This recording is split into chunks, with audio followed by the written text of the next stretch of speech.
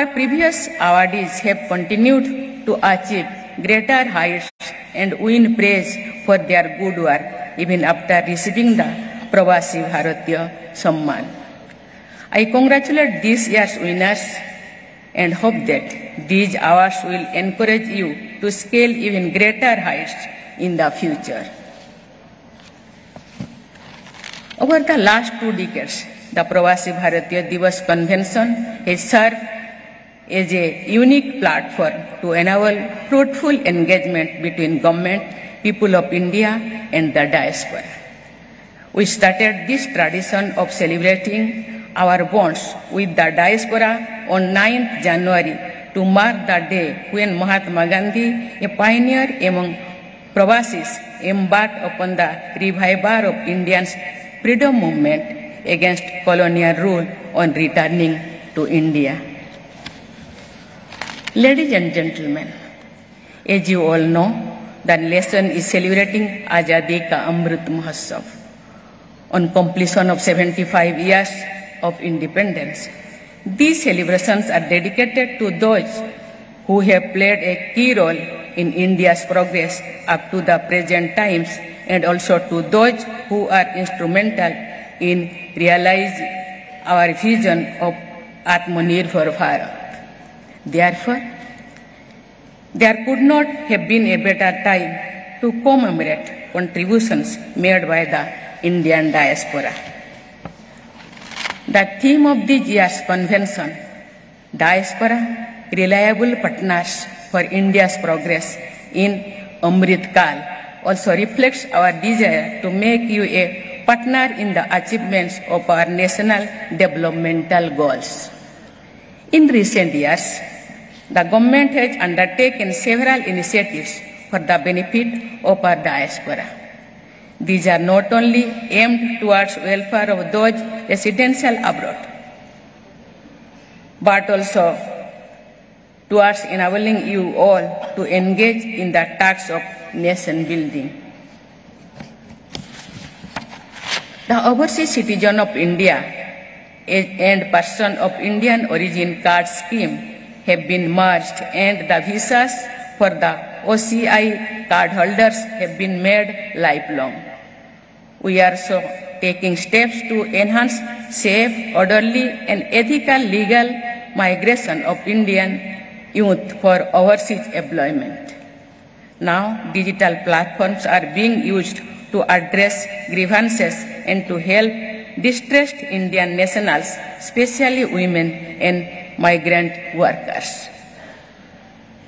We have also undertaken massive evacuation exercise to repatriate India's and Pravasis from crisis situations, including most recently in Operation Ganga in Ukraine.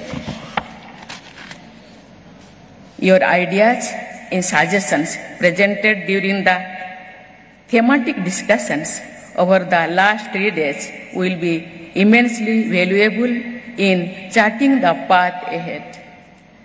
The plenary session discussing women diaspora entrepreneurs is particularly notable as it shows the potential of our sister entrepreneurs and business women in the diaspora in shaping the entrepreneurial spirit of our women in all sectors of the economy here in India.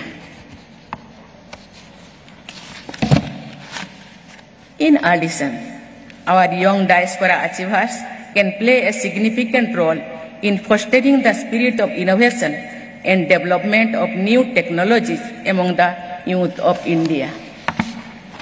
Ladies and gentlemen, we are facing challenging times today with economic and geopolitical upheaval all around us.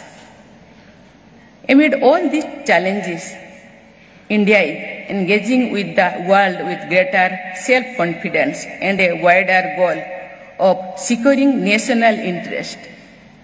This can be seen in our strong relations with all major countries and our leadership on various global platforms. As you know, India is presenting, presiding over the G20 this year with the theme One Earth, One Family, One Future.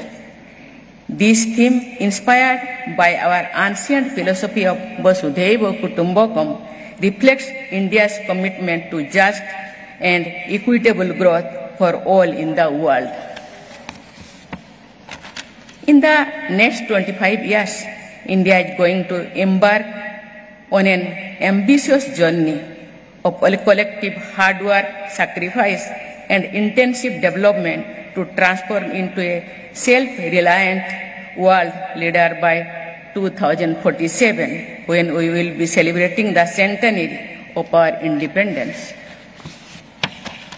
Your collective power and potential will be a force multiplier in the nation's inclusive development. I invite each and every member of our diaspora family to become a full partner in this journey.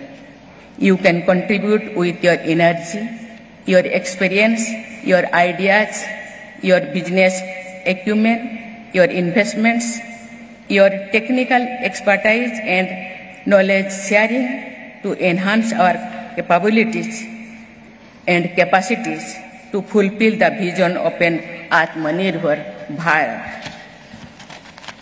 The call of the soil of the motherland is something that transcends the barriers of time and distance. While you have built enriching and productive lives in your adopted homes in different corners of the world, our diaspora brothers and sisters will always hold a special place in our hearts, not only as extended family members, but as responsible stakeholders in India's development. I once again convey my best wishes to the distinguished gathering here and wish you all a happy and prosperous years ahead. Thank you. Jai Hind.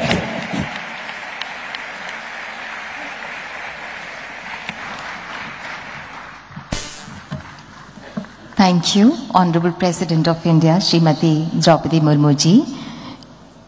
I now invite Honorable Minister of State for External Affairs, Shri V. Muraleedharan, to kindly propose words of thanks. Kripya Abhar प्रकट करें.